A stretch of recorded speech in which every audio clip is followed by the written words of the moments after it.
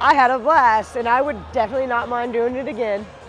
Chef Amanda Cusey of the Villa Harlequin right here in Lake Charles competed with Chef Colin Nunez by her side in the 18th annual Great American Seafood Cook-Off in New Orleans. Five, four, three, two, one. The opportunity today was fantastic. Just to be surrounded by this quality of chefs and like this caliber of chefs was just an honor and it was a blessing and I feel very privileged to be able to represent Louisiana. We've seen like a massive influx of business. Uh, I've seen a lot more like, you know, media and social media posts, you know, representing Lake Charles.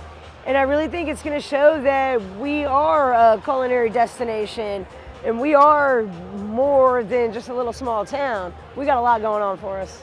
I've made new friends, uh, you know, I've gotten to talk to new people, just new people in the industry. I took away like a really fun, good experience.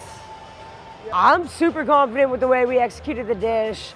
Uh, you know, our fish was cooked perfect, our sauce was on point. You know, we were just up against some really strong competitors. All right, Corey. Massachusetts, oh. Yeah, baby.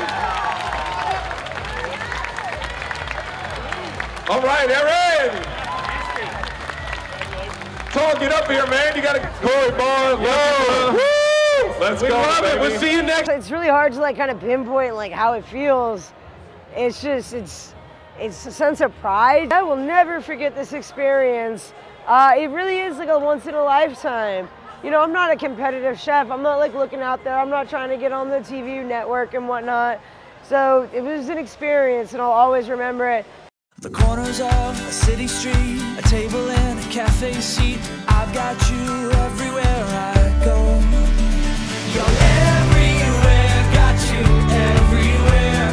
Everywhere I roam. You're everywhere, got you everywhere.